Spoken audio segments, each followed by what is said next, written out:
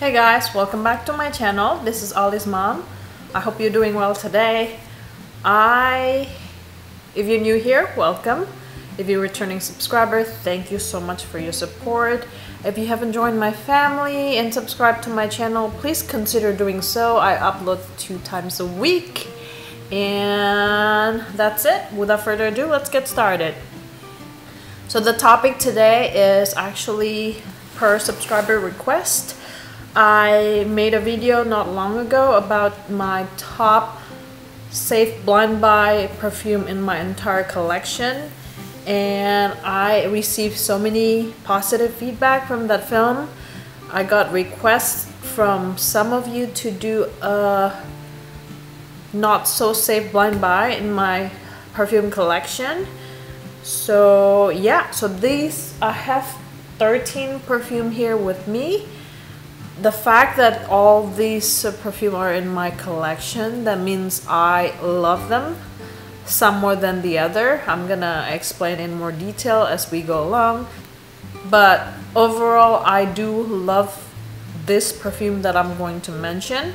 And I'm gonna state the reason why I don't think this list of perfume are a safe blind buy from the least to the most not so safe of a blind buy Alright, so let's get started. Burberry Her. This is the other perfume. This is the original one. It actually smells really good. It smells like uh, strawberry ice cream. The reason why it's not of a slave blind buy is because the strawberry here is very synthetic. Nonetheless, I put this as number 13 because when I had my friend smell my perfume in my collection. This is actually rated number two. I guess teenager or younger folks tend to like this because this is fun. This is young. It lasts about six hours. It has great projection. Overall, this is a really nice perfume. The perfumer behind this is Maison Francis Kurkdjian. Some people think this smells like Baccarat Rouge 540. I do not agree with that. The strawberry here is very synthetic, so therefore it's not so safe of a blind buy. Number 12, Lancome La Vie est Belle. So this is like one of the best-selling perfume out there. Performance is beast mode. It lasts a long time. This is overall very light perfume, but the patchouli here is so strong that, uh, and I live in a hot and humid place, that this is rather not safe of a blind buy. Like, I don't gravitate towards using this. And I don't know where you live or what's the weather, where you're at. So I, therefore, I think this is not so safe of a blind buy. So remember guys, all of my perfume in my collection are rather safe blind buy because I do a lot of research before buying my perfume. Um, therefore, the list that you see in this video, it's not going to be too extreme of a not blind buy safe. They're rather safe, but then still, I personally think that this 13 perfume are not so safe of a blind buy, if you know what I mean. Versace Crystal Noir. This is the de Toilette. This is like one of the best selling perfume out there. Super popular. Lots of people likes it. Performs really great. 12 plus hours. Soft to moderate projection. Overall, this is such a good perfume. I do enjoy it during summer night. Uh, this is such a sexy date night perfume. Now, I think this is not a safe blind buy because this one smells rather spicy. It has that ginger note. It also have this like spicy cardamom. Um, versatility is just kind of low in the list. When I invited my friend over to rank my perfume, he said that this one smells like how a house should smell like, like a furniture or spa establishment or a place should smell like. It's, a woman should not smell like this. So that's the feedback that I got. So therefore, this is listed at number 11. Number 10, this is my recent purchase actually. Elizabeth and James Nirvana bourbon. Yep, so this is the 100 mil. This is my recent purchase. Yeah, I love vanilla. This should be right up my alley, right? Now, the performance of this perfume sucks. It lasts only 30 minutes, literally disappeared. It doesn't project. Um, I personally enjoy this, but performance is so bad that I don't recommend this at all. This actually performed worse than my philosophy perfume. This performed worse than Mon Guerlain. This thing sucks, even though it smells so good. Now the reason why it's not such a safe blind buy because it's either woodsy note, vanilla, and tuberose. But the cedar here, I smell cedar, and the cedar here is so strong and prominent. It smells like a wet cedar. Some people smell bookstore from this because of the cedar. Um, some people think that this smells like wet cedar. I'm not too impressed with this perfume. It smells like a cigarette butt. If you smell it fresh up from the nozzle, it smells like a cigarette butt. I used to be a smoker back in school and college. I was a smoker for four years. So I know how a cigarette smells like. This smells like unlit cigarette straight from the box.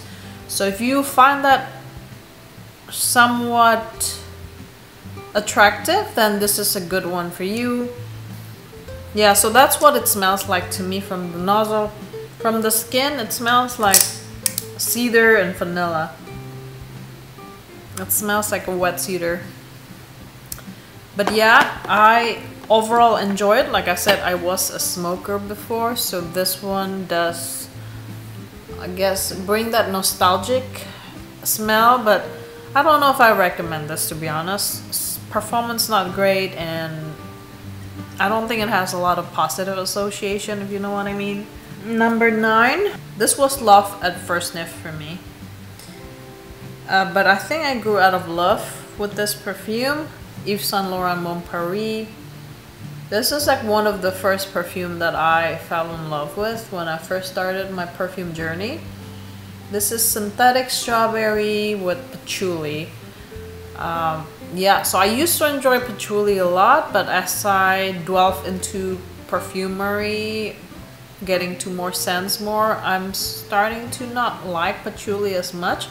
I find them to be very overbearing, overpowering, and they just give this dirty smell that I don't like.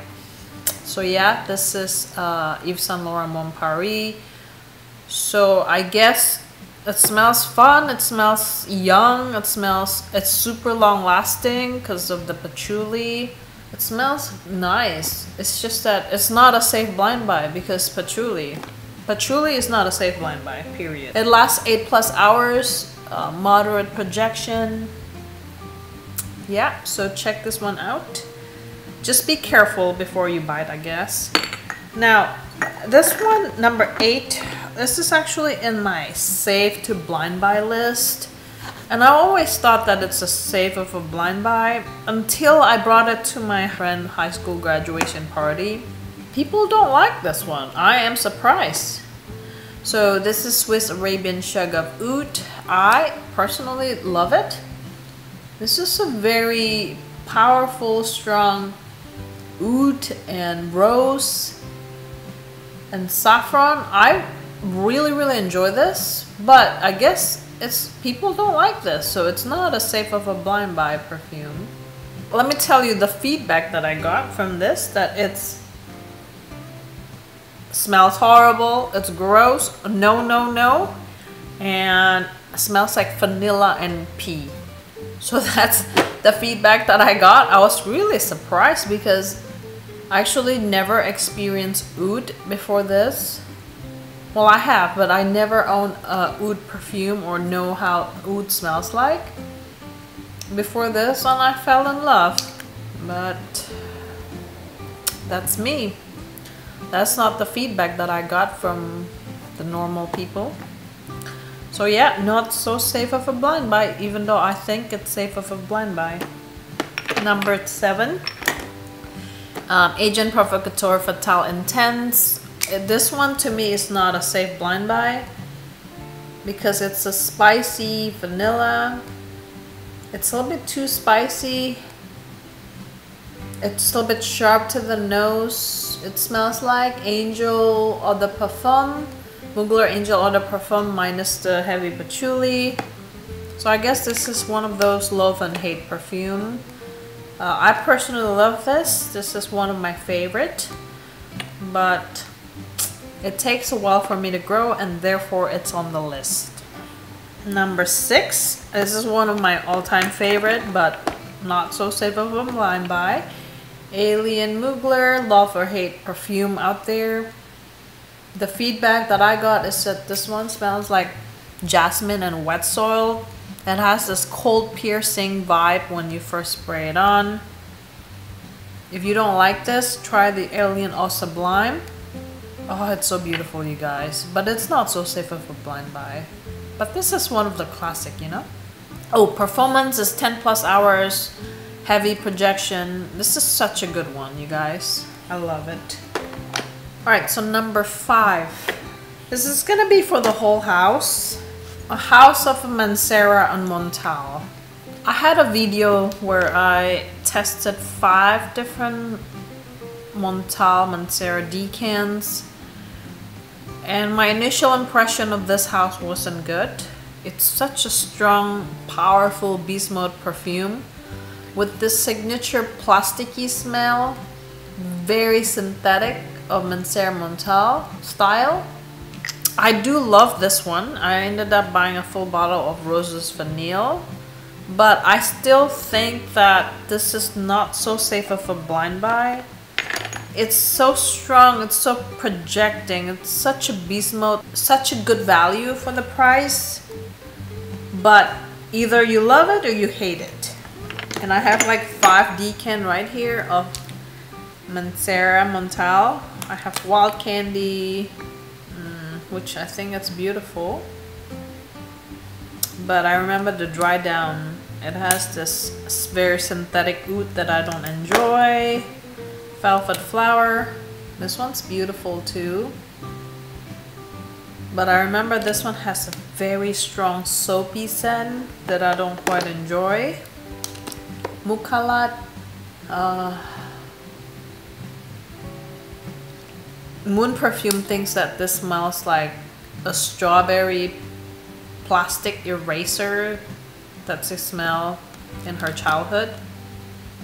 I thought it smells like a gummy bear. If you put in a plastic container and leave it in the car for like days, that's how it smells like. The plastic scent is so strong and overpowering. Mancera Instant Crush. I'm starting to enjoy it more, but when I first put it on, this smells like men cologne. I do enjoy it now, actually. But I don't know if I want a full bottle of this, you know? It smells sweet and woody and saffrony. When I first got this, it would smell like men cologne and I didn't enjoy it. Mancera Holidays, the tiare flower is super strong. I do love this one. This is my favorite out of all of them. But I'm starting to get used to the plasticky scent of Mancera Montale. Um, I now enjoy the house a lot more. I see the value of Mancera and Montale. It's such a good value for what it is. When I put this on and if I spray any other vanilla perfume, I literally can't smell them. It's that beast mode. Such a good one. Such a good one. But it's not safe of a blind buy. Number four. This is one of my favorite, but it's not a safe blind buy. Tom Ford Black Orchid. This one's like heavy, dark, mysterious. It has this like goth gothic vibe. I personally love it, but it's not a safe blind buy. It's super strong, it projects, and it's a beast mode. You have to be in the mood for it. You know, Tom Ford Black Orchid. It's a classic. I recommend it, but it's not a safe blind buy. I suggest you to sample it first before you buy a full bottle. Not even sample, just go to the mall and smell them, you know? Number three. This is one of my all-time favorite, but I don't know if it's a slave blind buy. Uh, this is Dior Addict. Oh my goodness, this one smells so good. Oh, this is like a dark, sexy, powdery vanilla. Very, very seductive, sexy. It smells like somebody's about to go to party. Very powdery, it's very thick and heavy. It has this heavy white floral. But it could also smell dated, too powdery. So it's not a save a blind buy. Either you love it or you hate it. And I love it because these are all the perfume in my collection. So I love most of this perfume, you know? Okay, so number two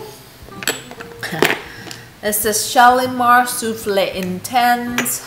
This one smells like lemon powdery, very powdery and thick and musky, very melancholic.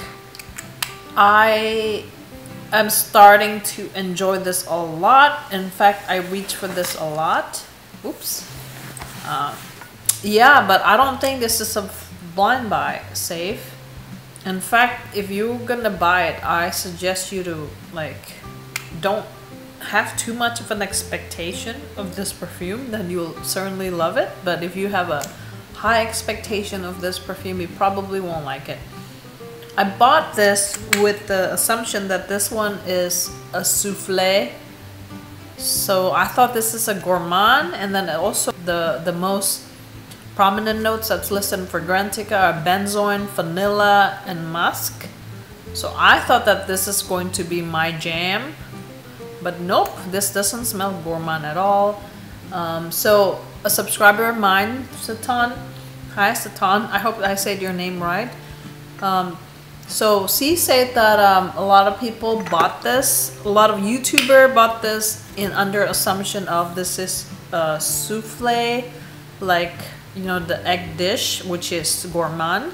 But in reality, this one is souffle, souffle, um, which means the wind. So that makes a lot of sense because this one smells like a stale air to me.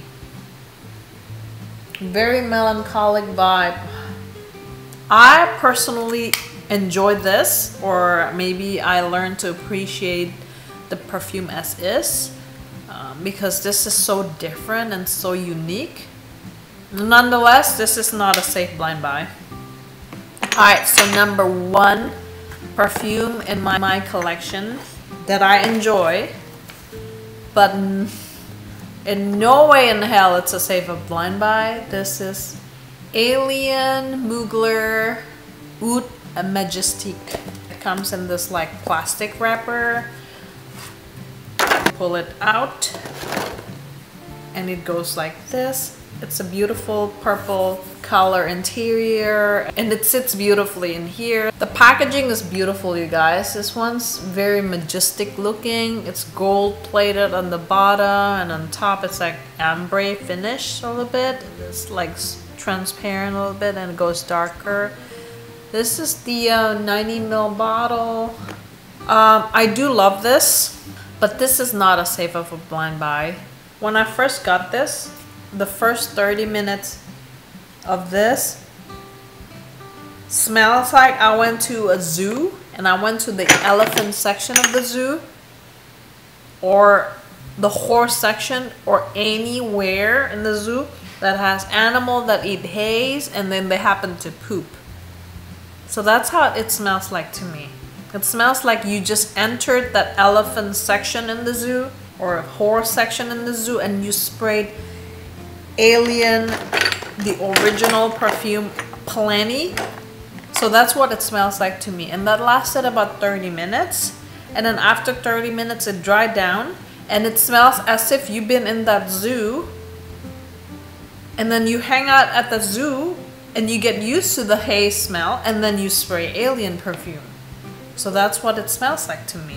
I don't think this is everyone's cup of tea. Actually, I don't recommend you to blind buy it unless if you like uh, the smell of being in a farm, maybe, or a zoo. But I love it, you guys. But I'm not sure if I will recommend this. I learned to appreciate this as an art form of a perfume but I don't think this is versatile and I don't think that this is blind buy safe of a perfume in my collection if you know what I mean. I do love it. If you love Alien as much as I do I recommend you to buy it. If you don't like Alien the original forget it don't buy it.